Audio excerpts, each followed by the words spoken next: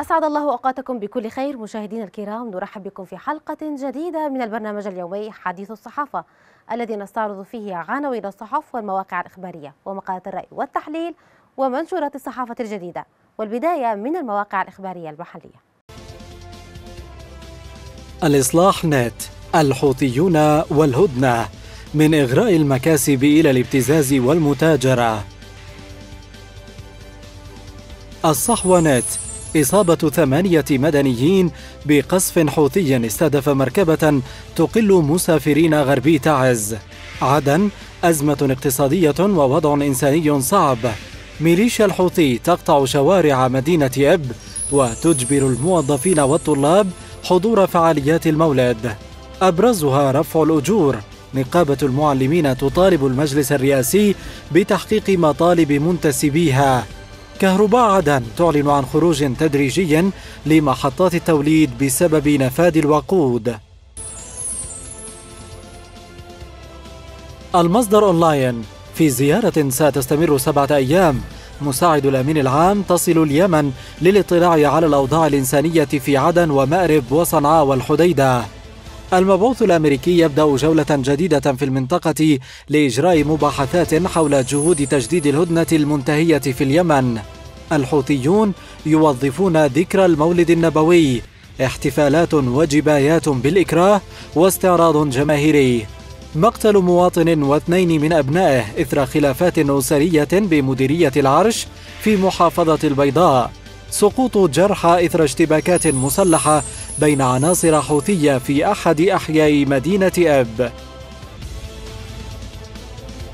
العاصمة أونلاين الحوثي واحتفالات المولد النبوي في صنعاء للتحشيد إلى مأرب ومآرب أخرى.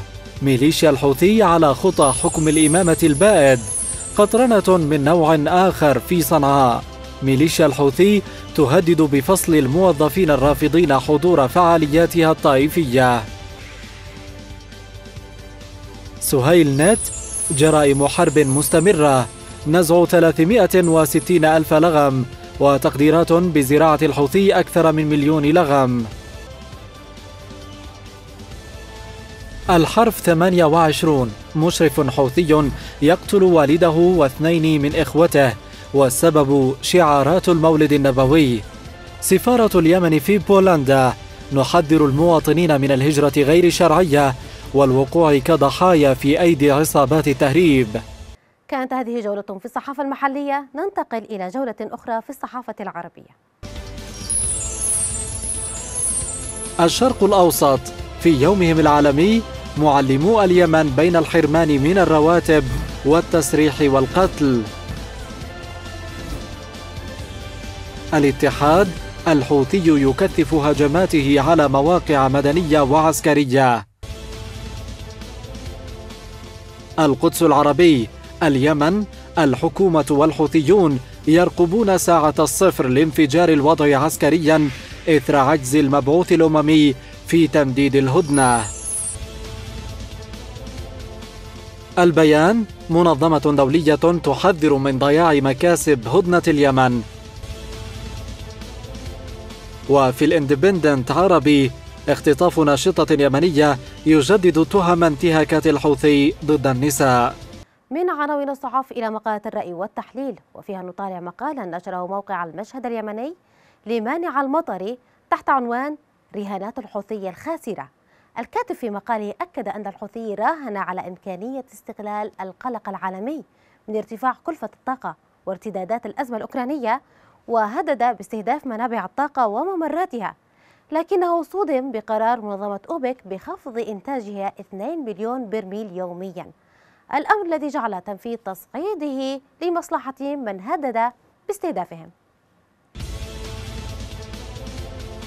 يبذل مجلس القيادة الرئاسي جهودا كبيرة جدا لصرف مرتبات الموظفين في المناطق التي تسيطر عليها ميليشيا الحوثي استشعارا منه بالمسؤولية تجاه جميع المواطنين. فيما جل اهتمام الميليشيا هو تعطيل هذا الأمر استجابة لرغبات إيران التي تسعى التصعيد في اليمن هروبا من أزماتها الداخلية. يقيم الحوثي اليوم احتفالا بالمولد النبوي ليس بغرض الاحتفال بالذكرى بقدر ما هو تدليس وتضليل للمجتمع بأن النبوة لم تكن إلا لتكريس مشروع الحوثي ومن خلفه إيران. راهن الحوثي على إمكانية استغلال القلق من ارتفاع كلفة الطاقة وارتدادات الأزمة الأوكرانية ورفع مطالبه لدرجة الغطرسة وهدد باستهداف منابع الطاقة وممراتها لكنه صدم بقرار أوبك بلاس خفض إنتاجها مليوني برميل يوميا بما يجعل تنفيذ تصعيده لمصلحة من هدد باستهدافهم فانقلب بالسحر على الساحر. انكشف الحوثي أمام المجتمع الدولي الذي راوغ كثيرا في حسم موقفه منه. بفضل استراتيجية مجلس القيادة الرئاسي في التعاطي مع قضايا الناس بالداخل ومع الجهود الدولية لتبريد الحرب في اليمن وخفض كلفتها. إضافة إلى أنه لم يواجه اليمنيين متحدين في معركة حقيقية حتى الآن ويخشى أن يحدث ذلك. المجلس الرئاسي والمكونات اليمنية تمتلك الآن قدرة على ردع تصعيد الحوثي أكثر من أي وقت مضى خلال سنوات الحرب واستجابة تحالف دعم الشرعية ودعمه أكبر. الحوثيون واستراتيجية الابتزاز.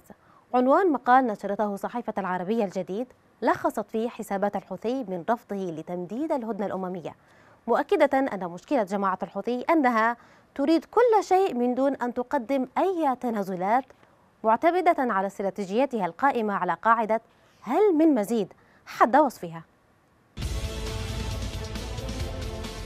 انقضى موعد هدنة اليمن من دون تمديدها مرة جديدة بعدما اختار الحوثيون عرقلة الخطوة.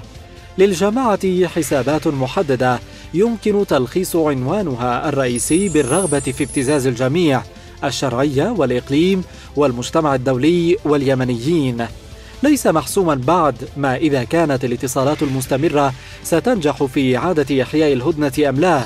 لكن المؤشرات على الأرض تفيد بأن الخيارين واردان فرغم ما حملته الساعات الأولى عقب انقضاء الهدنة من تحريك عدد من الجبهات تحديدا في مأرب وتعز إلا أن الأيام الماضية شهدت هدوءا نسبيا ولم يسجل أي انطلاق لمسيرات الحوثيين باتجاه السعودية أو الإمارات كما اعتادت الجماعة أن تفعل كلما أرادت توجيه رسائل.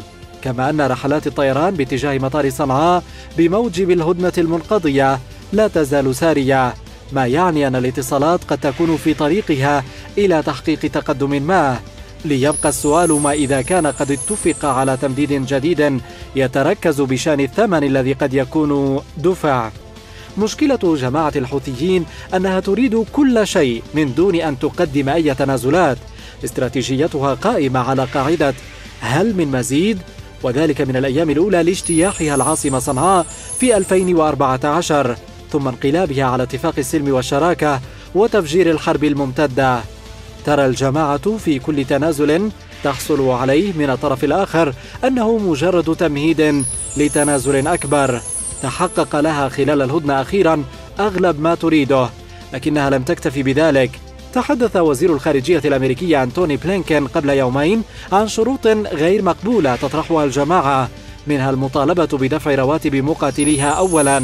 أما المبعوث الأمريكي إلى اليمن تيموثي ليندر كينج فتحدث عن تقديم الجماعة مطالب مبالغا فيها ومستحيلة بشأن آلية مقترحة لدفع رواتب القطاع العام مطالبا إياها بإبداء مزيد من المرونة. ويبدو واضحا أن المعضلة اليوم تتركز في التمييز بين رواتب الموظفين في القطاع المدني والموظفين في القطاعين العسكري والأمني وهو ما يفسر حديث بلينكن بشكل خاص. تحرم الجماعة منذ سنوات الموظفين اليمنيين المقيمين في مناطق تستحوذ عليها من رواتبهم رامية مسؤولية ذلك على الحكومة الشرعية.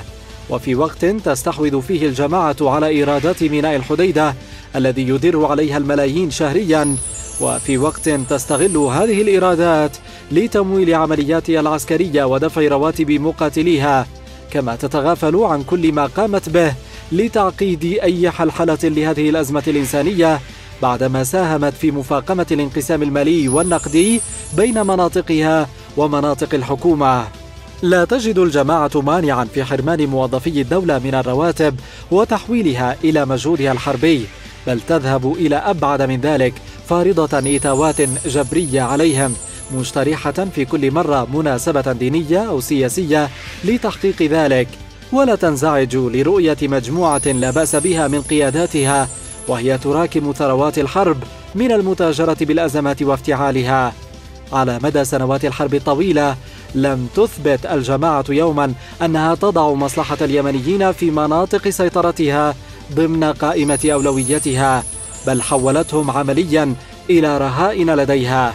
تكتفي بمشاهدتهم يعانون ويزدادون فقرا ويحرمون من حقهم في الراتب والطبابة بينما تستخدمهم ورقة في مفاوضاتها مع المجتمع الدولي على غرار ما جرى أخيرا. ننتقل الآن إلى الصحافة الجديدة والبداية من الفيسبوك. منشور عبد اللطيف المرهبي على صفحته بالفيسبوك أكد أن الهدف من المناسبات الحوثية الطائفية هي استغلال الناس وجباية الأموال وإثارة الكراهية والعنف والعنصرية. مناسبات الحوثي بهدف استغلال الناس وجباية الأموال وإثارة الكراهية والعنف والعنصرية. العصابة الانقلابية الحوثية حولت أيام السنة إلى مناسبات وأعياد خاصة بها فيما المناسبات الدينية التسامحية يحولونها إلى جانب مواسم النهب والسرقات والشحت إضافة إلى مناسبات طائفية تثير الكراهية والعنف والعنصرية والخرافة. قد شفتم مثل هذه العصابة الحوثية تحتفل بأوجاع الناس وآلامهم وأموالهم وجراحهم وتريد أن تحكمهم ويثق بها على مصيرهم وحياتهم؟ يجبون المليارات من جيوب الفقراء وموانئهم دون أن يقدموا أو يلتزموا للشعب بشيء سوى الموت والدمار والإفقار والسجون والجبايات والخرافة. منشور حمزة المقالح على صفحته بالفيسبوك. اعتبر بروز دعوات الانفصال نتيجة طبيعية لضعف الصوت الوطني الذي يتبنى مشروع اليمن الكبير. سواء من السلطة القائمة اليوم أو بسبب تخاذل القوى السياسية أمام المشاريع التي تستهدف ثوابت اليمن الجمهورية والوحدة. علينا كشعب مواجهة النزاعات الانفصالية أيا تكن جهاتها ومناطقها ومنطقها سواء تلك التي تنادي بالعودة لما قبل 90 ميلادية أو التي تنادي إلى ما قبل 63 ميلادية.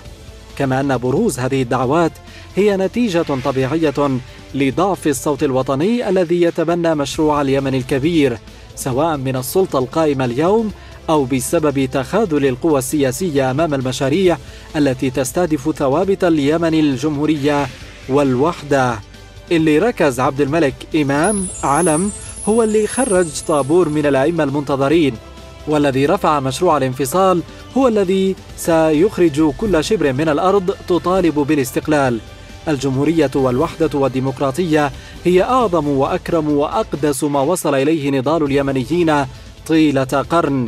التفريط بهذه الثوابت لن يمنح أصحاب المشاريع الماضوية الشرف ولا الحق الشرعي لرفض ما سواها من المشاريع التي تستهدف اليمن أرضا وإنسانا. بمناسبة الذكرى السادسة لرحيل الشهيد البطل الفريق عبد الرب الشدادي أكد يحيى الثلايا في منشور على صفحته بالفيسبوك أن التاريخ سيحفظه ويدونه في أنصع صفحاته. ويرسم صورته خالدا في عقول وأرواح اليمنيين ما دام فيهم روح وحياة. هذه الأرض لا تفرط بدعاماتها وأوتادها مهما تقادم عليها الدهر. قبل حوالي ألفي عام مر هنا سيل العرم فأغرق كل شيء ومرت بعده سيول وأعاصير ورمال وأحداث وأمم وشعوب. لكنها الأرض الوافية التي لم تفرط بأوتادها بل زادتها القرون عبقا وأصالة وشموخا. ومن مأرب ارتقى عبد الرب الشدادي شهيدا مجيدا يمانيا في الخالدين. كان أبا سيف وتدا من أوتاد البلاد ودعامة عز ومجد لا تعرف الانحناء كان سارية العالم الجمهوري التي بقيت منتصبة حين انتكست الأعلام والقلعة اليمنية التي ظلت حصينة شامخة يوم تهاوت قلاع وحصون. عبد الرب الشدادي سيحفظه التاريخ ويدونه في أنصع صفحاته ويرسم صورته خالدا في عقول وأرواح بني قحطان ما دام فيهم روح وحياة. سلام الله ومغفرته ورضوانه وصلواته عليك يا ابن قاسم في كل حين. وعلى الأرض المباركة التي التهمت جماجم الغزاة وطحنت عظام السلالة فتجعلها وقودا ينير مقامك العالي ومقامات رفاقك الشهداء. السلام والمجد والتحية لرفاقك الذين ضلوا على دربك ولا يزالون. فتيان يمانون شجعان أنقياء كنقاء روحك يذودون عن البلاد ويصنعون لفلول الإمامة نهاياتهم المخزية. أحمد شباح في منشور على صفحته بالفيسبوك. انتقد تجاهل الحكومة الشرعية لمعاناة النازحين في محافظة مأرب الذي يتجاوز عددهم أكثر من مليوني نازح.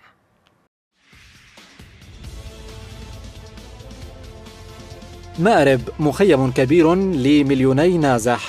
الحكومة مسؤولة دستوريا وأخلاقيا عن توفير كامل الخدمات والإيواء والمساعدات لجميعهم مجانا. مش تجي ترفع الأسعار. المسؤولين النازحين في عواصم العرب والعجم يستلمون إعاشة بالعملات الصعبة والنازحون في مأرب خارج الاهتمام الحكومي.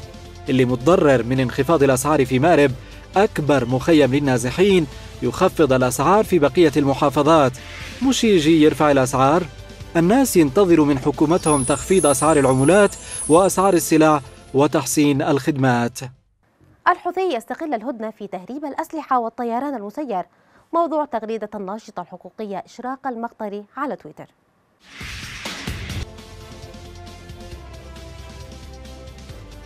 كنا نقلق من القصف العشوائي المدفعي المختلف الأسلحة.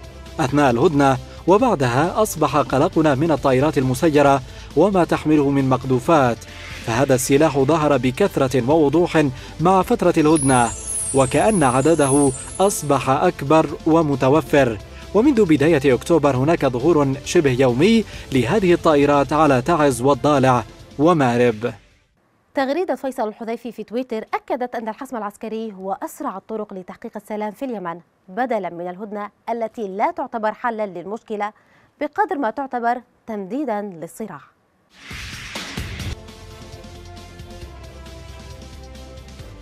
الحسم العسكري هو أسرع طريقة للسلام والتخلص من الهيمنة الإيرانية وميليشياتها الحوثية في اليمن.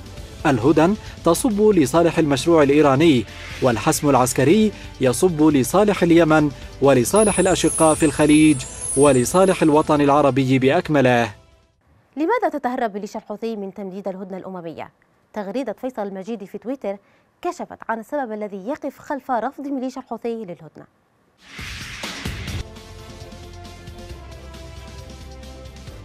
مع الاستقرار يبدأ تضعضع الميليشيا والصراع على النفوذ بين أجنحتها لذا تخشى من الهدنة من هذه الناحية لجهة مطالبة الناس لها بدفع الرواتب من عائدات ميناء الحديدة رسوم المشتقات النفطية والضرائب والزكاة وغيرها. وحتى مع موافقة الحكومة على دفع رواتب المدنيين وفقا لكشوفات 2014 لا تقبل. أما تغريدة فيصل الشبيبي في تويتر فقد أكدت أن عزوف الناس في صنعاء والمحافظات المحتلة من قبل ميليشيا الحوثي عن حضور خطبة الجمعة أكبر دليل على افتقارهم للشعبية. شعبية الحوثيين منعدمة ومن يشكك في ذلك فعليه الذهاب إلى المساجد يوم الجمعة فقط وسيجدها خاوية على عروشها باستثناء العشرات. بعد أن كانت تكتظ بالمصلين والسبب عنجهيتهم وخزعبلاتهم وتخاريفهم التي لا يقبلها عقل أو منطق. أما من خرجوا اليوم فالجميع يعرف الأسباب التي دفعتهم للحضور. تغريدة محمد جماح في تويتر أشارت إلى استغلال الحوثي لكل شيء من الجبايات والخرافات والأساطير لاستخدامها في احتفالاته الطائفية. يجمع الحوثي كل شيء في مناسبة المولد النبوي. صور عبد الملك وأبيه وأخيه شعارات خميني وخامنئي واللون الأخضر. يجمع الخرافة والأسطورة والسلالة ودعوى الجد الطوطمي. يجمع السلطة والثروة والسرقة والنهب إلى جانب الزوامل والأناشيد. يحضر الحوثي كل شيء بمناسبة المولد النبوي. إلا النبي نفسه.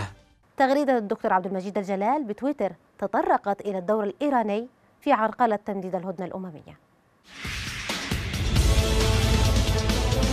لا تزال إيران تخترق القرارات الدولية بشان اليمن وتستمر في إعطاء الحوثيين الفرصة تلو الفرصة ليستمر عدوانهم على الشعب اليمني ورفض كل شروط التسوية السياسية ما لم تكن ملائمة لتوجهاتهم السياسية التي تتناغم تماما مع السياسات الإيرانية المعادية لشعوب وحكومات المنطقة. الحوثية إرهاب مكتمل الأركان. عنوان تغريدة الإعلامي عبد الكريم المدي على تويتر. ألغام الموت الحوثية تحصد أرواح اليمنيين ومعظمهم من الأطفال. قناصة عبد الملك الحوثي يغتالون الطفولة. فساد وطمع وعنصرية أدوات إيران تجوع الناس وتفقرهم. قطاع طرق الحوثية وزبانيتها يختطفون اليمنيين من الطرقات والمدن والقرى. الإمامة ترفض الهدنة وتقتل الشعب. نحن نواجه إرهابا مكتملا. فيما تبقى في هذه الحلقة نذهب إلى جولة سريعة في رسوم الكاريكاتير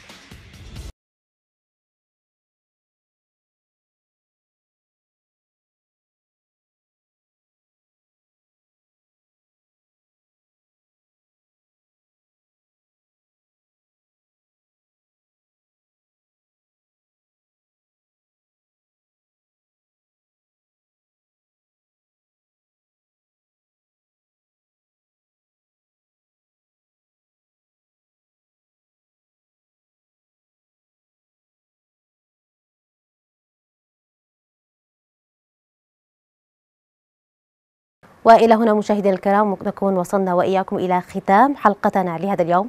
نلقاكم غدا في حلقة جديدة. دمتم ودام الوطن بألف خير.